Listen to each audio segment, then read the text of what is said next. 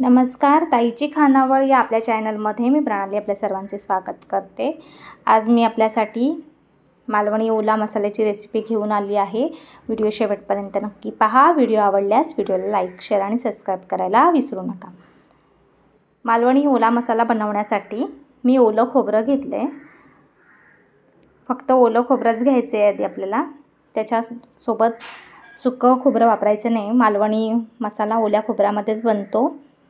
ओला खोबरं भाजायला थोडा वेळ लागतो आणि खाली चिकटतो देखील. त्याच्यामुळे खूप काळजीपूर्वक हा मसाला आपल्याला बनवायचा आहे. जेवढा तो आपण खमंग असा खोबरं भाजणार ओलं तेवढी आपल्या मसाल्याची टेस्ट देखील वाढणार आहे. त्याच्यामुळे खूप वेळ लागतो मालवणी ओला मसाला बनवण्यासाठी. त्यासाठी घाई आपल्याला बिलकुल करायची नाही. आपल्या सुट्टीच्या वारी आपल्याला तो बनवून आपल्याला फ्रीजमध्ये स्टोअर देखील करता येतो. असे वेगवेगळ्या प्रकारचे मी तुम्हाला मसाले दाखवले आहेत जेणेकरून ते तुम्ही सुट्टीच्या दिवशी बनवून आपल्या फ्रीजमध्ये स्टोअर करू शकता.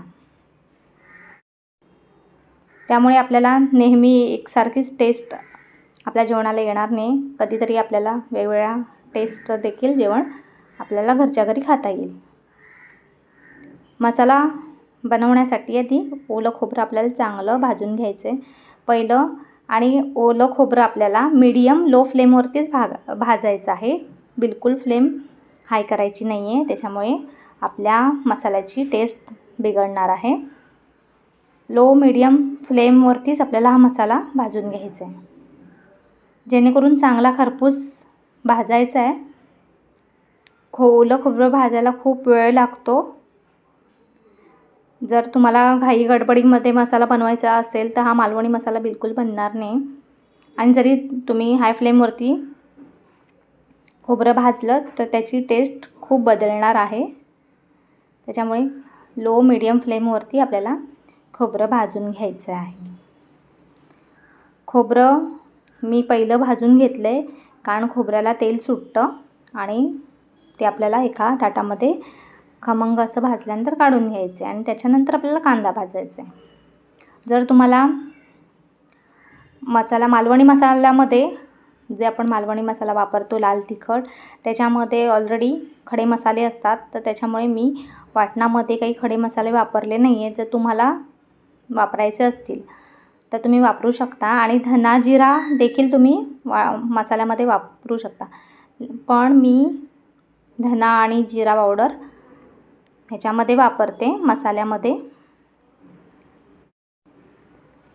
त्याच तव्यावरती आपल्याला कांदा देखील भाजून घ्यायचा आहे. कांदा देखील ब्राऊन कलरचा होईपर्यंत आपल्याला भाजायचा आहे.